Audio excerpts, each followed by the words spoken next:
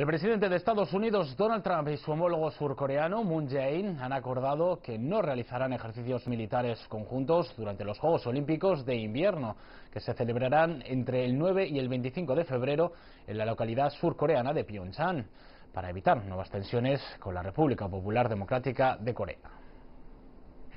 Las primeras señales de progreso podrían ser, quizás, una visible mejora de las tensiones en la península coreana. Alejado de su actual postura política, Trump acordó, a petición de Moon Jae-in, suspender las maniobras militares conjuntas durante los Juegos Olímpicos de Invierno de Pyeongchang. Según un comunicado conjunto, ambos líderes creen que esta medida permitirá que Washington y Seúl se centren en garantizar la seguridad en la cita olímpica.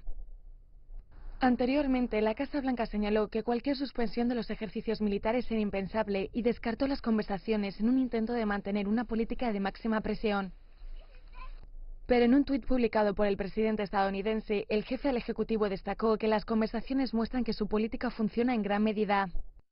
El restablecimiento de la línea directa entre Seúl y Pyongyang se produce después del tradicional mensaje de Año Nuevo del líder norcoreano, en el que muestra su voluntad de abrirse al diálogo con Corea del Sur y la posibilidad de enviar una delegación de atletas y delegados norcoreanos a las Olimpiadas de Invierno.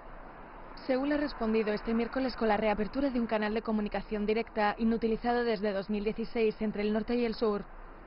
El presidente Moon Jae-in también ha propuesto abordar con Pyongyang una amplia variedad de cuestiones humanitarias que podrían ayudar a mejorar las condiciones para las futuras conversaciones sobre la desnuclearización de la península coreana. Hasta ahora no se ha establecido ninguna fecha para el diálogo intercoreano, pero las expectativas están ahí tras meses de pruebas nucleares y la habitual dialéctica belicista de Pyongyang. CGTN en español.